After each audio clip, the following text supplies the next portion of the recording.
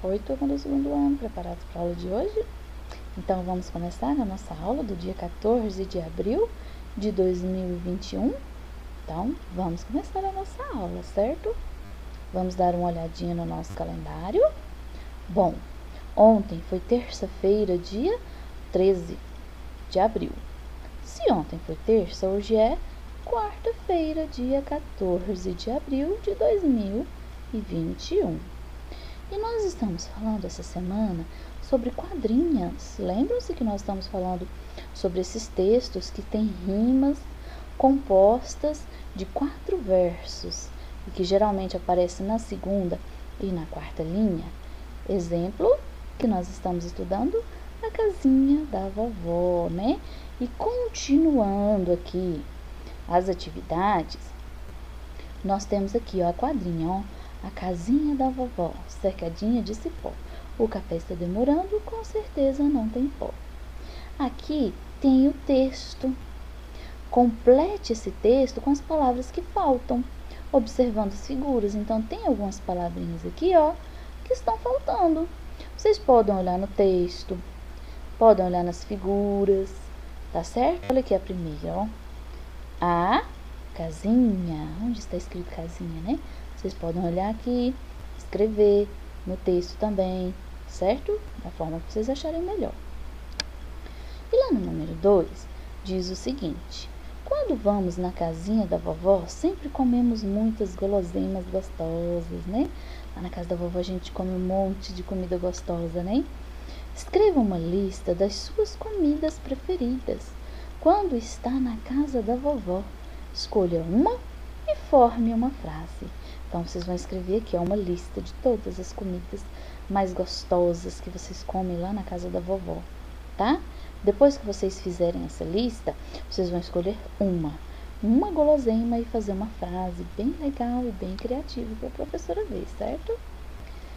Lá na nossa atividade de matemática, nós vamos observar um gráfico Diz assim lá no número 1. Lá na casa da vovó também podemos encontrar muitas frutas, né? Muitas comidas gostosas lá, né? diferentes tipos de alimentos na casa da vovó. Observe as quantidades e construa um gráfico com as informações. Então aqui, ó, tem aqui a quantidade da manga, tá vendo? 6. Abacate, 1. Um. Caju, 4. Laranja, 10. Abacaxi, 5 banana 3, maçã 8 e uva 6. O que, que vocês vão fazer? Vocês vão fazer aqui um xizinho representando as quantidades. Não são seis mangas? Então, vocês vão fazer seis ó, um em cada quadradinho. Lembrando que nós sempre começamos um gráfico de baixo para cima. Aqui é o primeiro, ó, aqui é o número 1. Um. Então, vai vir aqui, ó, 1, 2, 3, 4, 5, 6. Então, vocês vão marcar seis quadradinhos. E assim por diante, representando todas as outras frutas. Combinado? E aí, terminando, vocês vão responder a questão da letra A. Qual fruta tem maior quantidade? Aí vocês vão observar a representação que vocês fizeram e ver que teve maior quantidade. Letra B. Aqui teve menor quantidade. Então, você vai ver, né, quando vocês terminarem de marcar o xizinho, vocês vão ver o que teve maior e menor quantidade, escrever o nome em cada uma das questões. Lá na letra C, se juntarmos as laranjas e as maçãs, quantas frutas serão no total? Então, vocês vão contar quantas laranjas, quantas maçãs e colocar aqui o resultado para a professora, combinado? Pode fazer continha, pode fazer o desenho das frutas, tudo bem? E lá na letra D, escrever qual é a sua fruta preferida, certo? Vou ficar esperando para ver qual a sua fruta preferida. Lá na nossa aula de história, a gente vai falar um pouquinho sobre migração. Migração é quando uma pessoa sai de um lugar para outro, né? Parece até uma palavra difícil, né? Migração, mas não é. É quando uma pessoa sai de um lugar para outro, como por exemplo, quando sai de uma cidade pequena para uma cidade grande, ou também quando sai do campo para a cidade, né? Procurando sempre melhores condições de vida, não é verdade? Aqui, ó, tem a perguntinha para a gente pensar. Porque algumas pessoas se mudam para locais diferentes. na é verdade? Então pode ser um desses motivos aqui, ó.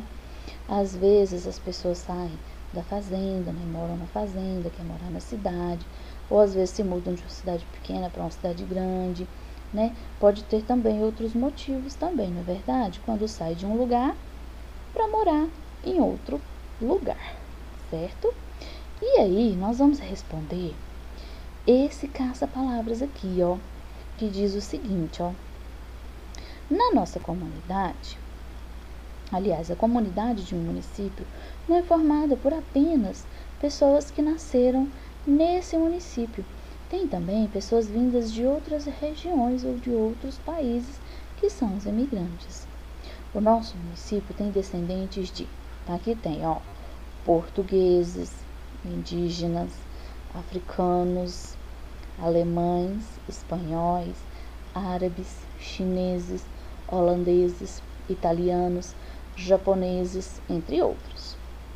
Então, descubra no Caça-Palavras o nome de alguns imigrantes que vieram para o Brasil. Tá aqui, eles foram descritos aqui, não foi? Ó, portugueses, indígenas, africanos. Aí vocês vão caçar aqui no Caça-Palavras. Ó, aqui eu já achei uma, ó. Alemães. E aí vocês vão circular. Aqui, ó, portugueses, tá vendo, ó?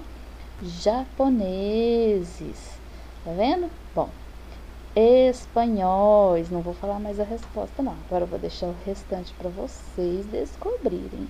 Combinado? Certo? Aguardo ansiosa as fotos das atividades. Até a próxima aula e um grande beijo.